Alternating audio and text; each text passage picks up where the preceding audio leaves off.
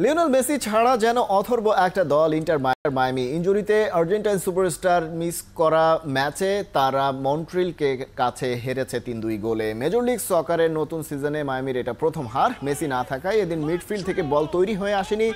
সবচেয়ে বড় দুর্বলতা ধরা পড়ে অ্যাটাকিং থার্ডে মিডে জর্ডি আলবা থাকলেও দলের বাইরে ছিলেন ফরওয়ার্ড লাইনের মেসি আর সুয়ারেজ।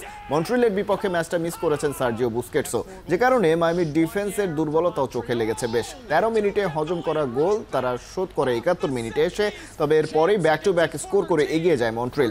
আলবা একটা গোল শোধ করলেও ম্যাচটা জেতা হয়নি।